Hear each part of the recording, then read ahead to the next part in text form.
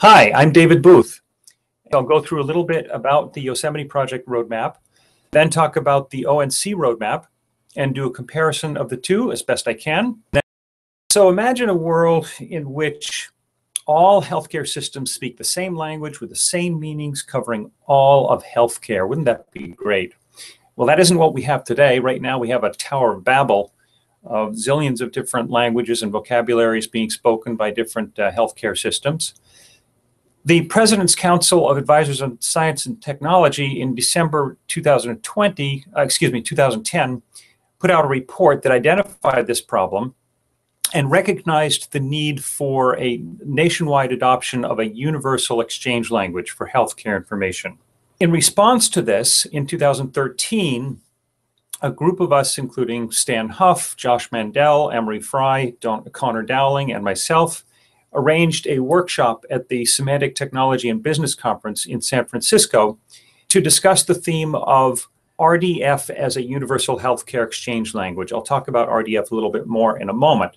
But all of us uh, who arranged this workshop had background in RDF and recognized that it could be very useful as a universal healthcare exchange language.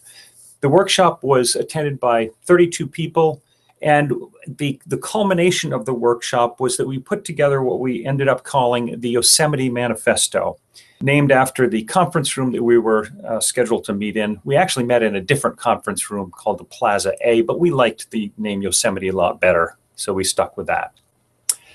This uh, Yosemite Manifesto calls out several principles for achieving universal healthcare exchange using RDF as a, a, universal language.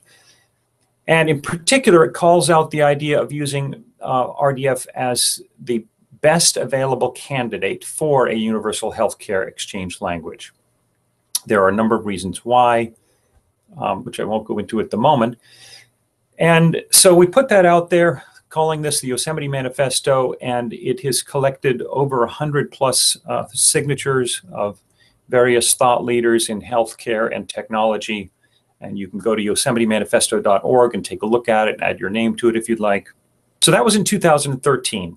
The following year, we followed up on that and said, okay, we need to sort of operationalize these principles into a roadmap, into saying how to actually do this using RDF as a, as a basis. And so this led to what we're calling the Yosemite Project that was launched in August of 2014. The mission of the Yosemite Project is to achieve semantic interoperability of all structured healthcare information. We're not just talking about some subset, some common denominator subset. We're talking about all structured healthcare information. And when I say structured healthcare information, I'm distinguishing it from unstructured healthcare information, such as uh, a doctor's sort of random handwritten prose notes or uh, dictated prose, things like this. The strategy for doing this is using RDF as a universal information representation. And I'll get back to this concept in a moment. So, what is RDF? Uh, well, it's a W3C standard an international standard. It's been around, around for over 10 years, used in quite a wide variety of fields or domains. And a key interesting aspect of it is that it captures information content independent of data format. Uh, it means that you can have different source data formats that really represent the same RDF information content. So, for example, we might have uh, an HL7 message. HL7 is used a lot in healthcare. It's a standards organization. Version 2 dot uh, whatever looks like uh, what's shown on the left. It's got these uh, cryptic things with the vertical bars as separators between uh, little data items. And that could be represented in terms of its RDF information content as shown at the bottom of this slide, what we call an RDF graph. Well, the exact same information might actually be represented in a, uh, a more recent format that is being developed also by the HL7 organization called FHIR, F-H-I-R, and it has an XML-based representation that looks something like uh, what's shown on the right. The point is that the syntactic differences between these really don't matter when we're concerned about the information content. And that is what RDF captures, is the information content independent of the data format. So what this means is that you can have different parties speaking different formats or using different formats, but meaning the same thing, having the same concepts in mind that has the same RDF information representation or the same information content. So maybe one party likes to use FHIR, maybe another one party likes to use HL7 version 2 point whatever, but they can still carry the same information content represented as RDF. So the basic idea of RDF as a universal information representation is given some piece of data, you should be able to answer the question, what does this data mean? And you should be able to answer that in terms of its equivalent RDF information content that is independent of the data format in which that data was encoded. Now, obviously, you do have to understand what that data format is so that you can determine what the corresponding RDF information content is.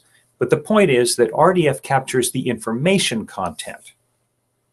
So another aspect of RDF that is also critical for addressing this problem and this need for a universal healthcare information uh, language is the fact that RDF is what I would call multi-schema friendly, which means that you can have data that was represented in different data models, such as some blue model or some red model or some green model that might have all been developed independently. And they're not the same model, but they have relationships between them. And the data that is represented using these different data models, once it has been um, interpreted as RDF, or once we look at the, the RDF information content of that information, can all be represented together and can coexist, can peacefully coexist with each other. And the different pieces or portions of the data, uh, the relationships between parts of those data models or between the data models themselves can also be captured and represented in RDF as well. So for example, town uh, might in, in one data model might be the same as what's called city in a different data model or vocabulary. Or the notion of a full name in the red data model might be the same as the combination of first name and last name in the blue model. Now, why is that important? Well, it's important because different vocabularies and data models are used. It's also important in order to um, translate or make inferences between different data models and vocabularies. So for example, if you were given a uh, some information about a town in the red model, then using inference, you can automatically infer that that would be the city in the blue model, given that we have that, re that relationship expressed between town and city. Or if you have first name and last name in the blue model, you can infer what the full name is in the red model using inference. So RDF supports inference. This is very important for being able to span between different data models and vocabularies. Okay, why do we care about this? We care about this because we want to achieve semantic interoperability between healthcare systems. Now, there are various different definitions of semantic interoperability. Um, I like this one uh, from Wikipedia because it's very succinct. Uh, it's the ability of computer systems. We're talking about computer exchange of data, right? Not human interpreted, but computer interpreted. Ability of computer systems to exchange data with unambiguous shared meaning. So we want those computers to be able to understand the meaning of the data that they are exchanging.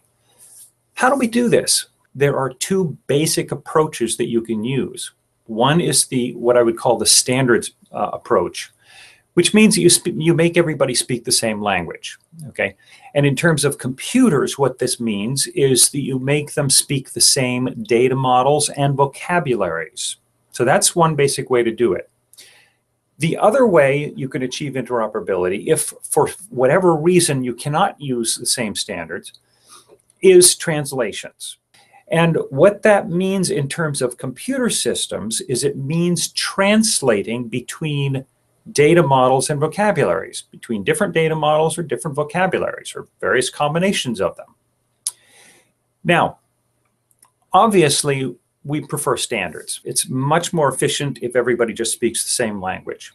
But there are some very fundamental problems with relying only on standards. First of all, there's a whole lot of them. In the uh, unified uh, medical language uh, system, there's over 100 standard vocabularies listed. And each one of these standards tends to be a bit of an island. Sometimes there are connections and relationships with other standards, but they have much too much of a tendency to be islands. Well, the idea uh, with using RDF to capture the information content is that it enables bridges, semantic bridges between these different standards. Okay, a second fundamental issue with standardization is that it takes time. And the more comprehensive you try to be in your standardization effort, the longer it takes. A third issue with standardization is that even if you do come up with a great standard that you want everybody to use, it takes time for all of those parties to modernize and to start adopting it. They can't all just adopt it all at once in one big bang. You're going to have different parties adopting it at different times right? This is just inevitable.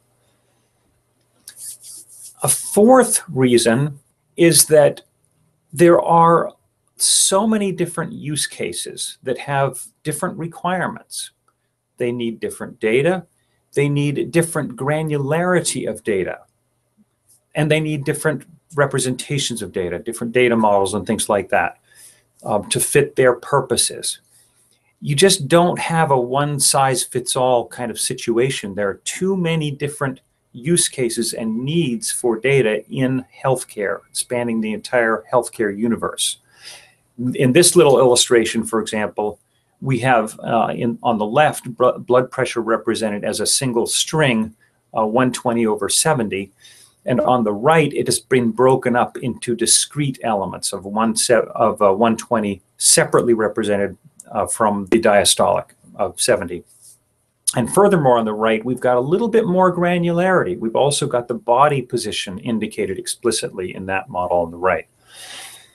Now, the problem is that you cannot fit all use cases into one data model or vocabulary, right? It just is not possible to do that. And what happens if you try is, I think, very nicely illustrated in this classic uh, cartoon, XKCD cartoon. There's 14 competing standards. 14, that's ridiculous. We have to develop one universal standard that covers everyone's use cases. Yeah, and they agree, and pretty soon there are 15 competing standards. And sadly, that is the case.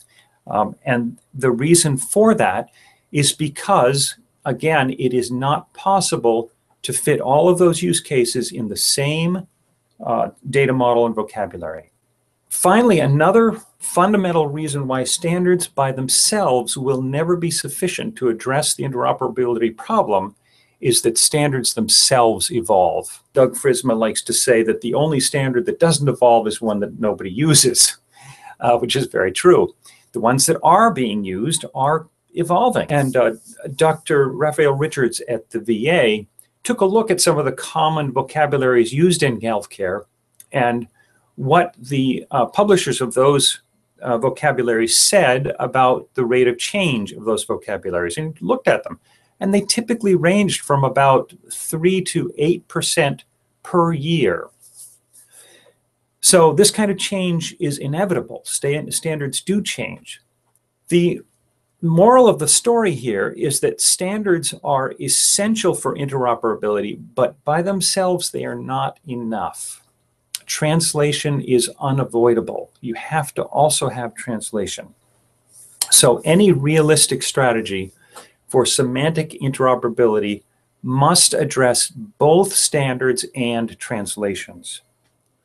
It's not a choice. You do translations only when you have to, okay? But you do have to. Okay, so this leads to the Yosemite Project roadmap. Here is a little uh, visual indication of the roadmap, and you'll see that it has both standards track and a translations track. It addresses both components. And it starts off with RDF as a universal information representation to use RDF as a common semantic foundation that can span across different standards and different data formats and even across different data models and vocabularies. And I won't have time to get into all the details of this roadmap, but basically a second component is uh, RDF mappings for the various proprietary and standard uh, data representations that are used in healthcare, uh, translations between the various data models that, and vocabularies that are used, because as I pointed out, some of these translations are simply unavoidable. Um, fourth component is crowdsourcing uh, these translation rules and the, the use of RDF as a universal information representation is a key enabler that will allow these translation rules to be crowdsourced. Next is coming up with the standard definitions in RDF and OWL so that various standards can be interpreted in terms of their corresponding RDF and OWL. OWL, OWL is an ontology language that builds on top of RDF. I won't have time get, to get into that. And let's see, next is um, facilitating uh, the convergence of standards with collaborative standards convergence. I mentioned that the UMLS lists over 100 different vocabularies, and there's a lot of overlap between them, which means that there are different concepts, excuse me, in different vocabularies, there are often the same concept used or very similar concept, but not defined exactly the same way, sort of overlapping, but not uh, not exactly the same. So ideally, we do want convergence so that they are the same across vocabularies. Finally, another key element is interoperability policies. This is a non-technical element, but this is absolutely essential for two reasons. One, we need policies that reduce the barriers to interoperability. For example, reducing IP barriers uh, intellectual property barriers to the use of standards that are used for interoperability. And second, um, we need to have policies that provide incentives, either carrots or sticks or both, to encourage interoperability. And the reason for that is that there is no natural business incentive for interoperability, right? There's no natural business incentive for a healthcare provider to make its data compatible with its competitor. Okay, so incentives, carrots or sticks, are absolutely essential to solving this problem. So there's briefly the Yosemite Project roadmap. Let's move on now and talk about the ONC roadmap. So the ONC roadmap was published in a 166 page document there's also a two-page quick reference that you can look at that you can download from the ONC site. Uh, and there's also a what they call an infographic, which is a, a tall and, and, a nicely produced uh, graphic that kind of illustrates this. And I think the idea is you're supposed to print it out and hang it on your wall. Uh, it was too tall to kind of fit on this one page here, so I split it into two to show it on this page. So what's in the ONC roadmap? Well, first of all, it's based on a vision uh, for health IT, which they're calling the learning health system. This was defined by the Institute of Medicine, and it's a really good idea. I'll get to that uh, in just a moment. I'll say just a, just a tiny bit more about it. So it's based on that vision, the learning health system, and it sets interoperability goals, uh, both uh, three-year goals, six-year goals, and 10-year uh, goals. It uh, includes a very good problem description of the various components, the, the complications, the stakeholders, and the various issues involved in achieving interoperability in healthcare. And it lays out solution guidance involving uh, governance, uh, standards uh, for achieving interoperability, and the various policies that are needed for achieving interoperability. So it's quite comprehensive what this roadmap uh, covers, the ground that it covers. Um, I said I wanted to mention just a little bit about the learning health system. This is defined by the Institute of Medicine. This graphic did not come from the ONC's roadmap, although it would be a good idea to include it so that people know more what that's this is about.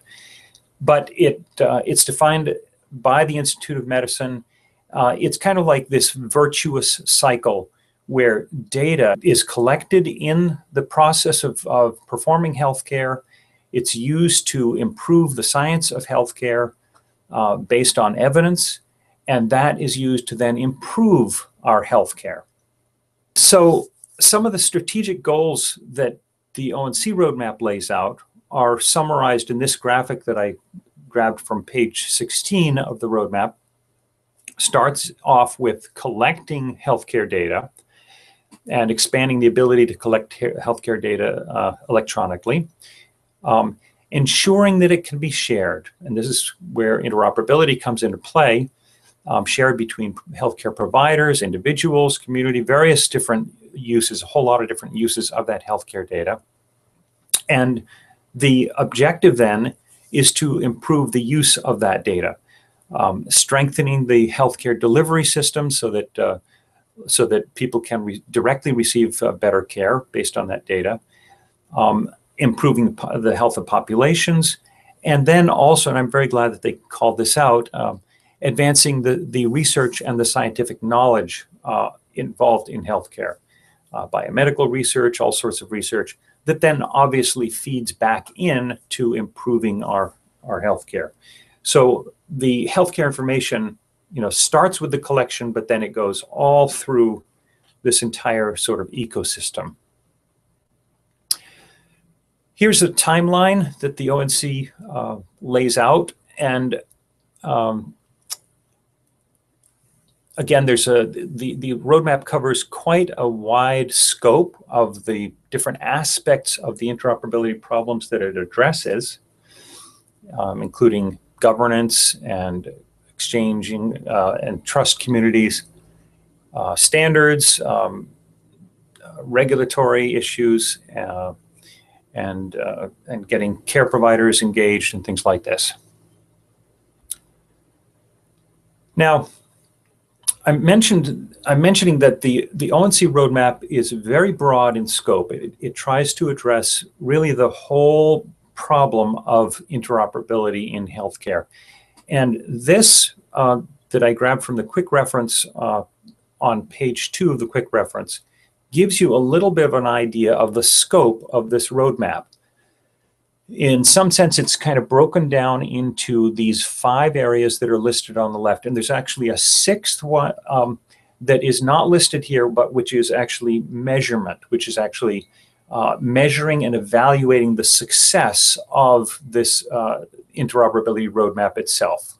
Like how well is it doing? How much interoperability is being achieved? So that one's not listed here, but it is also a component in the roadmap as a whole. So to give you a feel for um, what's covered here, so there's like 10 pages that talk about the rules of engagement, 15 pages that talk about the, uh, the how to create a supportive uh, business, clinical, cultural, and regulatory environments, 22 pages uh, addressing privacy and security protections for health information, because in order to uh, be able to kind of share and reuse uh, healthcare data, we do have to make sure that that privacy and, and security are are respected. Otherwise, it is not going to get passed around and used appropriately. Um, three pages on certification and testing, and then 25 pages on uh, core technical standards and functions. So in comparing the ONC roadmap with the Yosemite Project roadmap, the Yosemite Project roadmap focuses in on a narrow part of this overall uh, list of aspects involved with interoperability. The Yosemite Project focuses really on this area down here, which falls under core technical standards and functions, and the closest we can come here to saying where it fits in more specifically is consistent data formats and semantics. That's not quite the right way to say it, but that's kind of the, closest we can come in terms of how this is uh, written on the ONC roadmap. But anyway, this slide is showing that the Yosemite project roadmap on the right is focused on a sort of a, a narrow slice of what the ONC roadmap addresses.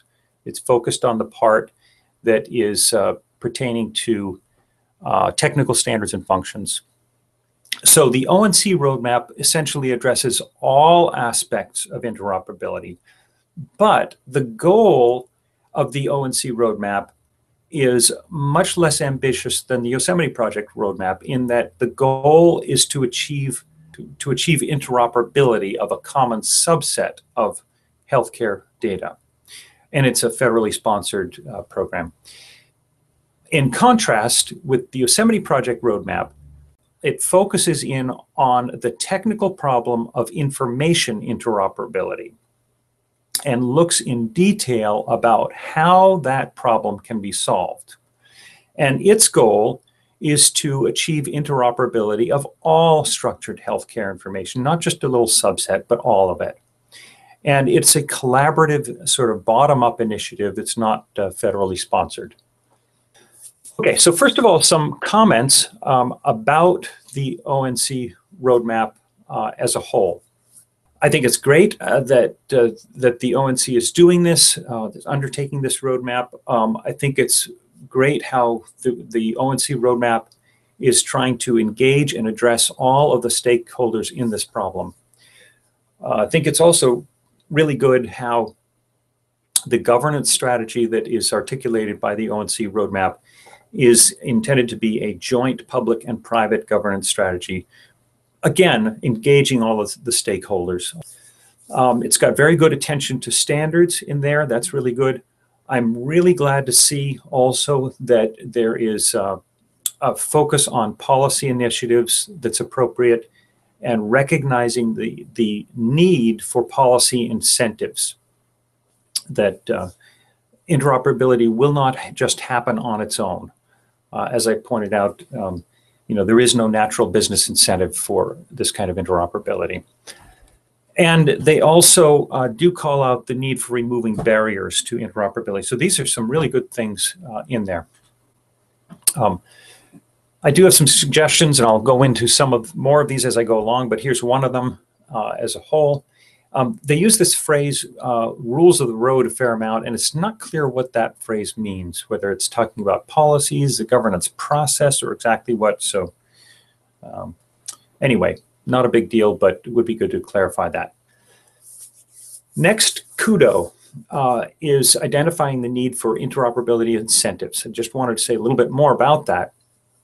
Um, page 38, for example, the, they identify that uh, a key barrier is the fee-for-service payment model that is currently used uh, uh, almost ubiquitously in this country. Um, and there's a number of other mentions in various places that this really represents a key barrier because it puts the incentive in the wrong direction. Okay, so um, I think this is really good that they're calling out this uh, this problem, and uh, I would suggest that uh, that they go farther on this and uh, do more on stronger incentive policies. Um, another thing that I th think is really good is um, there's an attention to uh, empowering the individual uh, and the in individual's uh, healthcare information. And I think that's really good I think this is increasingly important with a very mobile population, people typically receiving care from a lot of different providers, uh, the costs rising, of course, and also with patient-generated health data, you know, things like Fitbit and all sorts of things uh, way beyond that uh, to uh, home monitors and things like that. Um, one suggestion I would have is that it's important to recognize that this that the healthcare data uh, when in empowering individuals and giving an individual access to their healthcare data, that data needs to be accessible both to humans for a human to be able to read it and understand it, but it also needs to be machine understandable. It needs to be machine interoperable, right? So that I can take my healthcare data and I can bring it to somebody else, uh, to another healthcare provider, and they can use it, or I can even do my own analysis on it. Now, obviously, not everybody's going to do this. Maybe it's only one in a thousand or one in 10,000 people who would ever do that. Okay. But that's what causes really great in innovation is when somebody does something that's really interesting and then it takes off. So a little bit more on that. Again, similar theme is providing access to that personal health information. And uh, one of the quotes, page 31, is that uh, the, the roadmap says that no policy, business, operational, or technical barriers that are not required by law should be built to prevent information from appropriately flowing across geographic, uh, health IT developer, and organizational boundaries in support of patient care. I think that is a very important principle.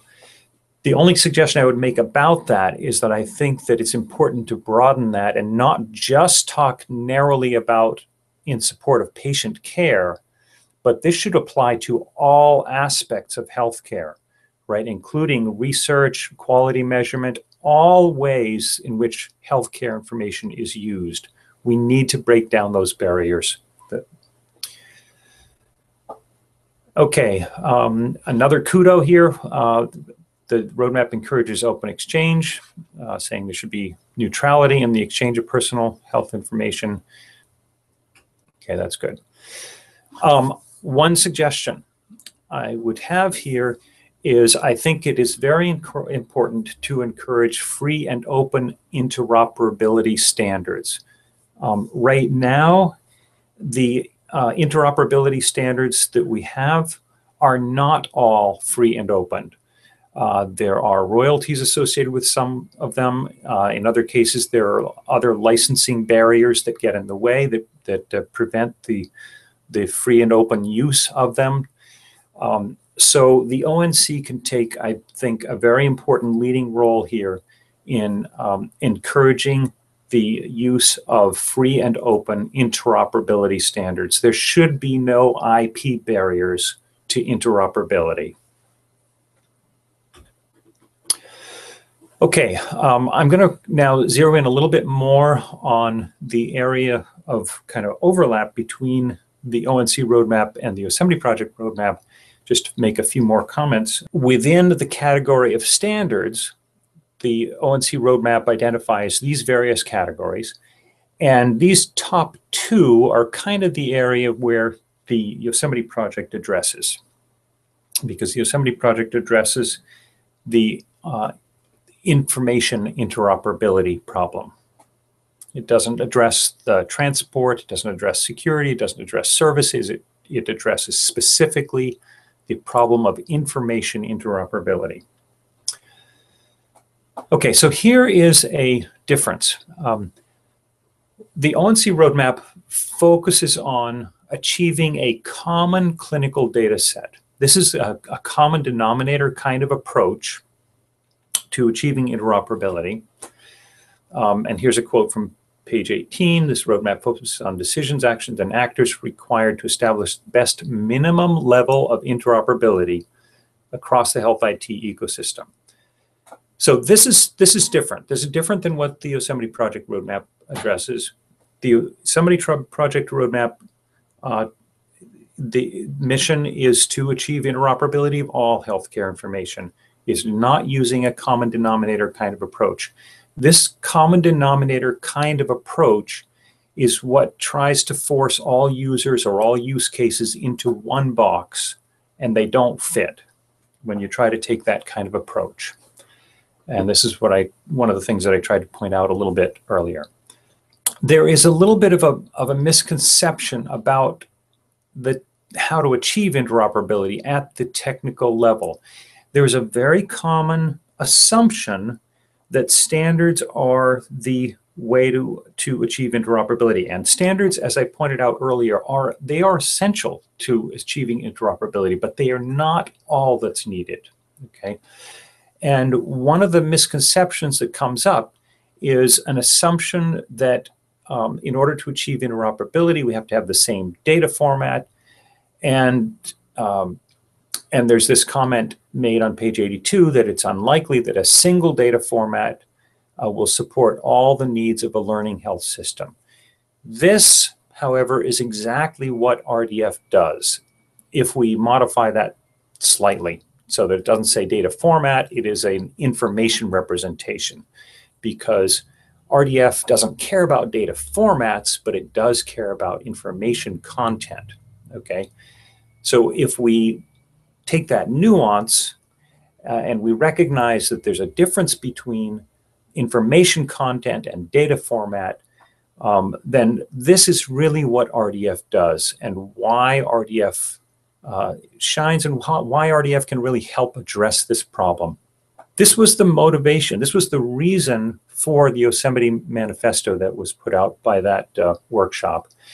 And the, uh, the whole point of the Yosemite Project roadmap is to show how to do this. Okay, so another comment um, about the ONC roadmap. Uh, I suggest that there's a bit more focus on data. One, one of the parts of the roadmap mentions interoperability of processes and workflows. And I don't want to say that those don't matter at all, but I do want to say that data interoperability is far more important.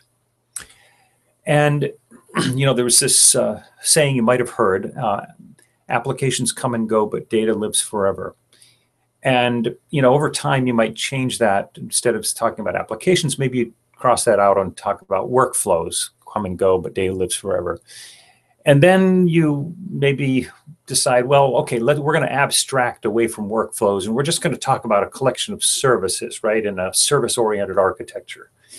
But then you realize, okay, well, you know, services actually come and go, but data lives forever. So then again, you try to abstract farther away and you say, okay, well, let's just talk about APIs then. But APIs themselves come and go, but data lives forever. Data is really what matters. I, wa- I do want to call out a kudo here. Um, there was mention of RESTful interfaces uh, in the roadmap. That's really good. Um, REST stands for Representational State uh, Transfer. It's, it is very important. REST is strongly associated with the use of HTTP as a protocol, but it's way more than just HTTP. Um, it acts as a uniform interface or API, and it facilitates a data-centric, or what is sometimes called a resource-centric, view of the way of looking at problems and solving uh, uh, application problems and data exchange problems and things like that. And it obviates the need for many specialized protocols. So I would suggest that there's a bit that there be a bit more emphasis put on the use of RESTful interfaces. Okay, another very specific suggestion is one thing that's needed is uh, stable URIs for concepts. When we're using RDF to represent uh, information content. We use URIs to uh, as unique identifiers of concepts.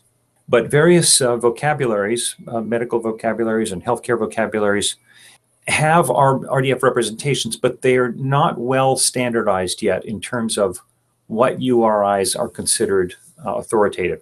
It would be a good idea to endorse the use of linked data principles here, which I won't have time to get into, and to encourage the various organizations that produce vocabulary, healthcare related vocabularies to publish uh, stable URIs for all of the concepts in their vocabularies. Furthermore, every concept URI should link to its authoritative definition.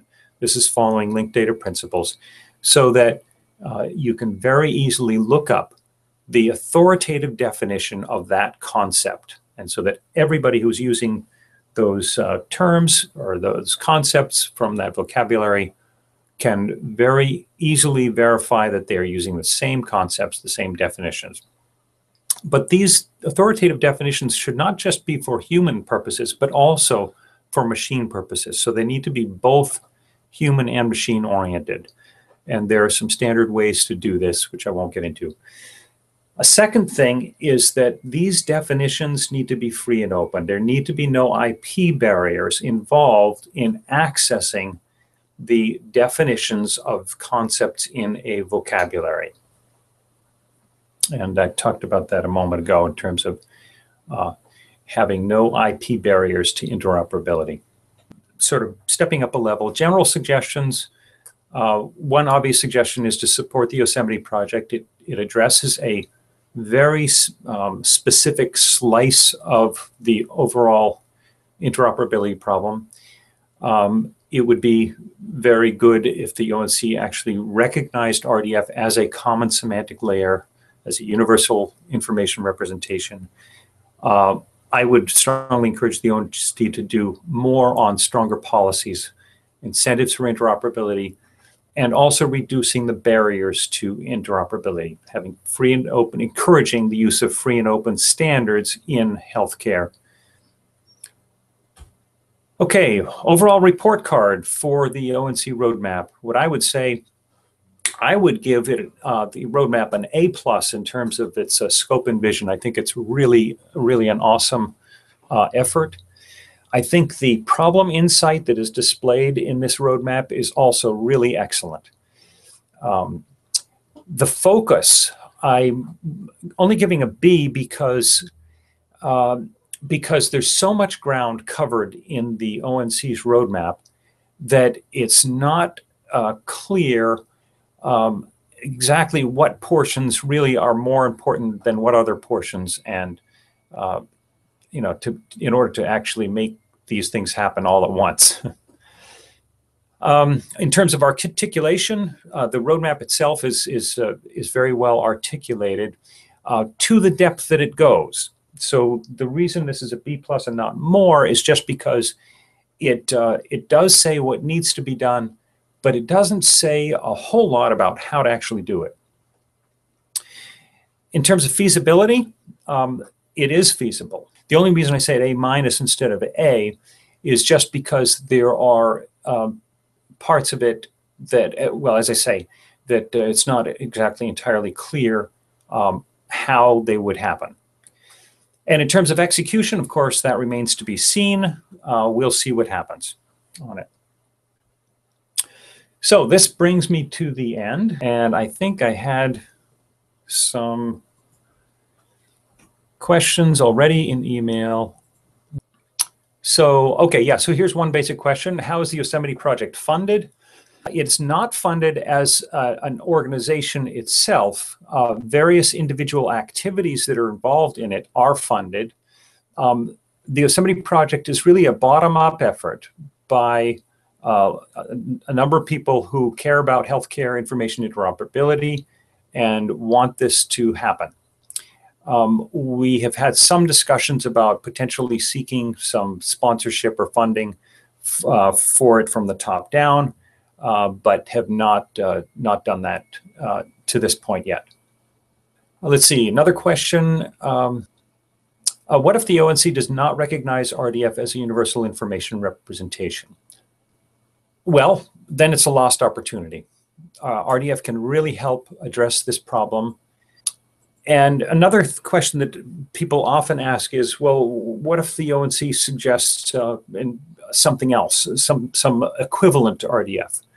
That is a sort of a possibility, except that it turns out that if you start doing the kinds of things that RDF does, you end up, in effect, reinventing RDF. And so you might as well just adopt RDF directly.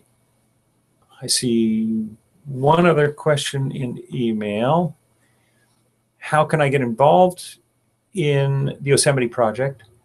Easiest ways to contact me or contact uh, other members of the steering committee. Uh, if you go to yosemiteproject.org, uh, you can, there's a link to the members of the steering committee there. You can contact any one of us and talk to us. And uh, we can talk about the various activities that are going on and uh, where your interests and activities uh, would fit in. I'm going to say thank you all very much for attending. Please uh, join our mailing list. Uh, go to yosemiteproject.org and join the mailing list in order to uh, receive updates or notifications of future events.